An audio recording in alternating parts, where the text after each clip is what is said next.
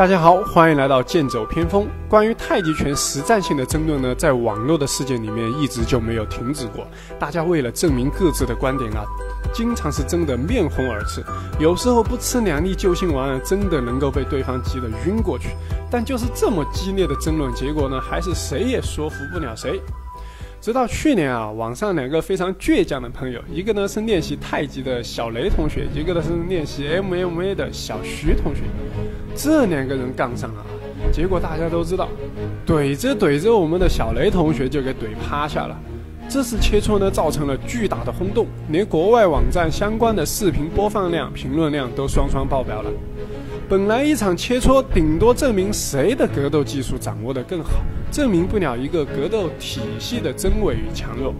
但是呢，很多人潜意识里还是觉得太极拳不能打，好像是被实锤了。这种判断呢，并不客观。出现这种错觉呢，是因为现在网络发达，一个事情火起来，就会把其他的参考消息完全的掩盖，非常的容易让人产生偏激的判断。其实太极也曾多次在擂台上取得过傲人的成绩，但是呢，很多都因为年代的久远，沉没在了信息的海洋中。例如我们接下来要讲的，在一九七零年也有过一场影响极大的比赛，这是一场太极拳和摔跤的对决，而这场比武，太极最终是以二十六比零完虐了对方。我们就来回顾一下这场比赛的整个过程。先来介绍一下比赛的双方。使用太极拳的选手呢是黄信贤师傅，他在当时已经有了相当的名气，是出了名的动手派，师从太极大师郑曼青，啊是郑曼青大师最得意的弟子。使用摔跤的选手呢叫做廖广成，也是在当时非常出名的摔跤选手，号称摔跤大王，身大力壮，实战经验丰富。那么关于这个比赛规则呢？因为这个廖广成使用的是摔跤，所以最终商定的规则，比赛中不能出现任何的击打动作，也就是说，只能靠摔倒对方来得分。那么这场比赛呢，最后是在新加坡举行了，当时是吸引了几千人前来观看。比赛一共是打了三个回合。比赛的第一个回合呢，没有人得分，因为大家都在相互的试探。毕竟对手都是武术圈子里面有名有姓的人物，大家都不敢过于的鲁莽。到了比赛的第二个回合呢，廖广成主动的发起了进攻，黄信贤师傅呢下意识的一个动作，直接就把这个廖广成给摔倒在地了。哎，这一摔呢，黄信贤师傅心里就知道这场比赛自己是赢定了。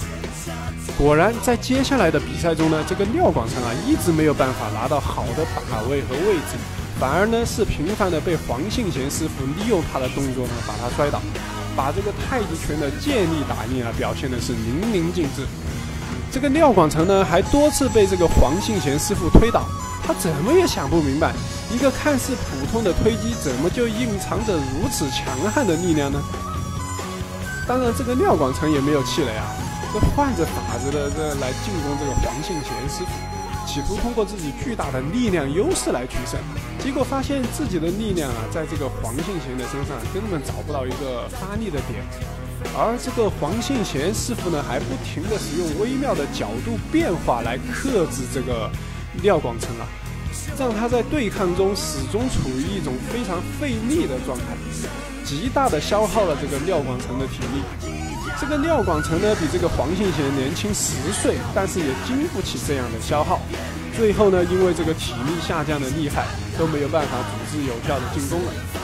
就这样啊，到比赛结束，这个廖广成依然不能摔倒我们的黄信贤师傅一次，比分定格在了二十六比零。这一次比武之后呢，当时的报纸啊也是争相的报道，在海外呢掀起了一股学习中国太极拳的热潮。两场跨世纪的比赛啊，结果却是完全的相反，一场完胜，一场完败。其实呀，格斗技法都是以人为载体来传承和发展的。现在的搏击的好苗子，真正有天赋的人呢，都去练习其他的搏击术了。而太极拳啊，说话难听点，可能大多数都是身体比较差的人更容易来选择习练。所以说，很多人接触到真正的太极拳以后呢，都觉得太极拳非常好，只是苦于自己没有那个身体条件和能力去证明它。